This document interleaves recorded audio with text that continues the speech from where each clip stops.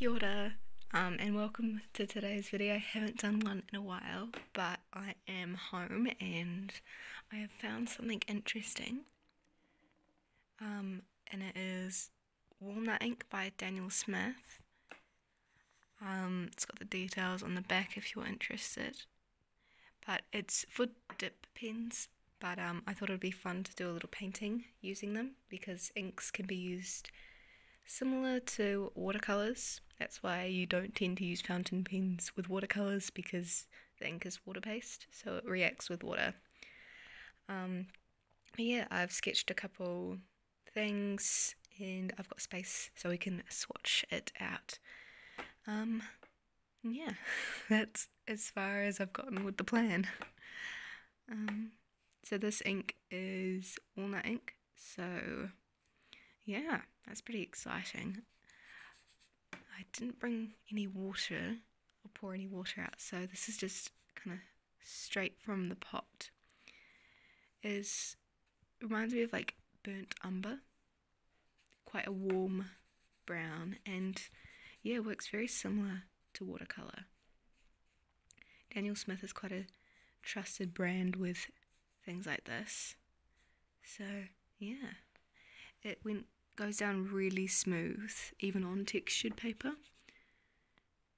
As you can see up here, it's already drying really flat, so it'll be interesting to see if it layers um, at all. Might as well just go straight into the painting. I might actually get some water. I'll be right back. I just realised that you guys wouldn't notice um, how long I've been to get the water and stuff because it's paused for you, so you don't need to um, worry about that intervention. But no, it's yeah, very smooth to use, and I can just imagine how um, nice it will be for um, fountain pens to use just because of how smooth it is. Because um, with ink, you want it to flow nice and smooth just so you don't get any um, interruptions with the flow of ink and stuff. So it needs to be like no pigments or something just to block it up. Oh, ignore that, that is my Be Real notification. um, but no, yeah. It's quite nice just doing a little painting and just finding the ink lying around at home gives me a nice excuse and reason to. Kind of just adding shadows in, and it's just one colour, which is really nice. And it's a nice change because it means I don't need to worry about getting accurate colours or anything. It just, yeah, it's quite nice to paint with. And I'm still, like, a little bit of ink goes a long way. Like, it's quite pigmented. And yeah, as you can see here, it dries really flat and fast. Like, it's not been that long and it's already dried. So I'll do a, another layer of ink to see if it layers. It does shift colors a bit. It, like it dries um, like a bit more of a neutral compared to this kind of um, very warm. It dries a lot closer to a neutral. Still warm, but closer to a neutral. But no, it's nice. it's nice to use. You don't need a lot of ink either. So in that regard, it's similar to watercolor because watercolor just goes a long way as well. I do like how it's made from walnut.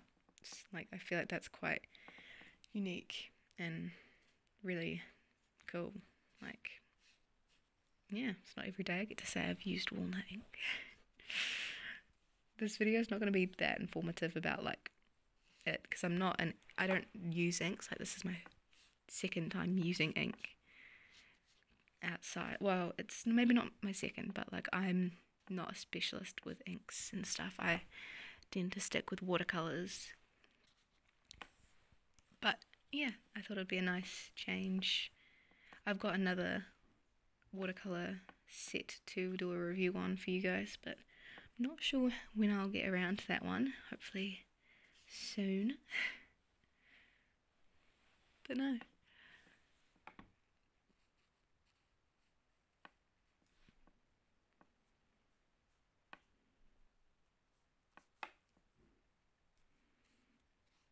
Sorry about the creaking, by the way. The table's a little bit of a old one. Oh, I wasn't even recording when I was painting. Well, that's not the end of the world. Just up here, just doing the shadows. Yeah, it's coming together. Might let it dry for a bit and work on this one. This is just a random image. I just searched up animal and this is like one of the first images that came up. So here we are.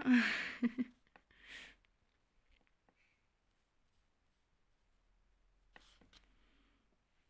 yeah, it's quite nice and it's like brown ink, which you don't usually see, so it's a nice change.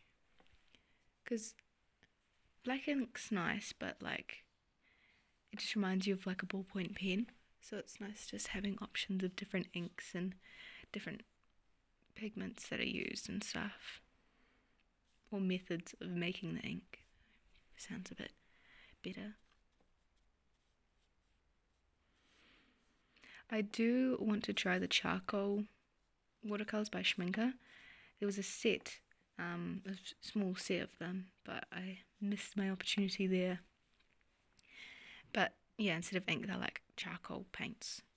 But yeah, they're using similar, like a similar idea of like natural ingredients like grape. I'm pretty sure there's a walnut and maybe apricot seed. And it's quite interesting to see like what can come about out of materials like that. Do I want a background? Mm, maybe I'll do a light one.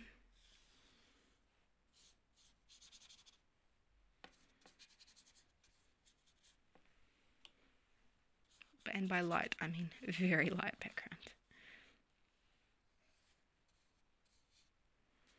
But yeah, as you can see, it's shifted a lot in color here, and that's still not 100% dry, but it does layer.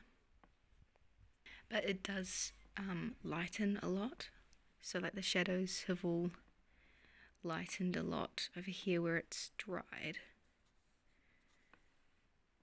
So, yeah. Just keep that in mind. I'm not sure, like, how that affects you if you're writing with the ink.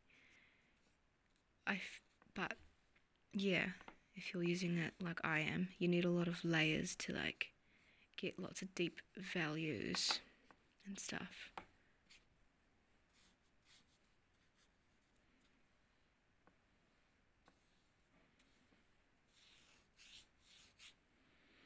Yeah, I feel like that's quite nice. Nice, quick painting of them. I did the sketch off screen just so that it could be focused on the ink, which is always nice. Like the sketch is nice to watch, but I do prefer just watching the painting process and hearing about the product instead of just the sketch being done. So, yeah. Um, I think I'm pretty happy with where we've gotten with this. And I'll see you in the next video, I suppose. Um, first, I'll give my overall thoughts. Um, the ink is quite nice. Um, I know it's for pens, but like if you want to just use it like watercolor, you can.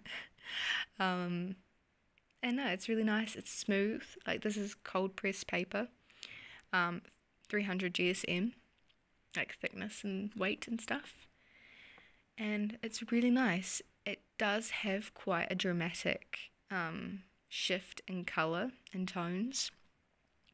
Um, so, yeah, just keep that in mind. Um, if you're worried about that kind of thing. and yeah, no, I do enjoy using ink, especially just for like monochromatic studies of stuff, because it, you know, it's easy access. You don't need to use a lot of it, and it's it's easy to use, and yeah, no, I enjoy it a lot, and yeah, I hope you guys enjoyed this video. short and sweet. um, so yeah, have a good day, guys, and thanks for watching.